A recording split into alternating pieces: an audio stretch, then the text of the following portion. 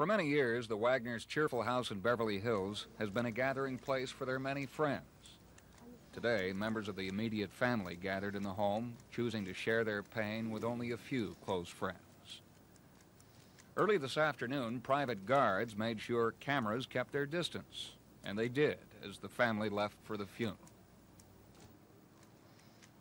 The services were simple and they were private here at Westwood Village Memorial Park.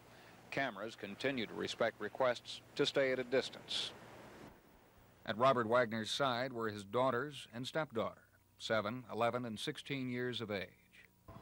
Actors Christopher Walken, Sir Laurence Olivier, Frank Sinatra, Gene Kelly, Fred Astaire, Rock Hudson, and Richard Benjamin, along with directors Elia Kazan and Herb Ross, were among perhaps a hundred friends who joined the family for the short graveside service. A musician played a simple melody on a balalaika as pallbearers brought the casket to the site. Eulogies were delivered by Hope Lange, screenwriter Tommy Thompson, and Roddy McDowall. Actually, it is downright joyous to think that one pretty individual accomplished so much beauty in so few decades. When it was over, Robert Wagner said goodbye with a kiss. Natalie Wood was also loved by a world full of audiences, and they too will miss her.